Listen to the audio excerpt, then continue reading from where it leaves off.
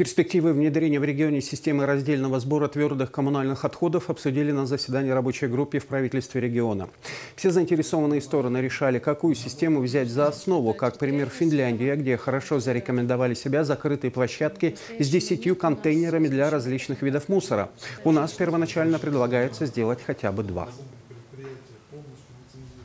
обязательно должны быть методы материального стимулирования. Те дома, которые работают с мусоропроводом и варят все в порядке, должны платить в 10 раз дороже, чем те дома, которые поставили себе контейнерную площадку и начали ее разделять по отдельным позициям.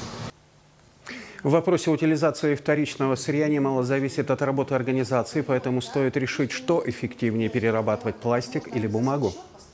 Здесь главное понять, какие результаты мы хотим достичь в результате перехода.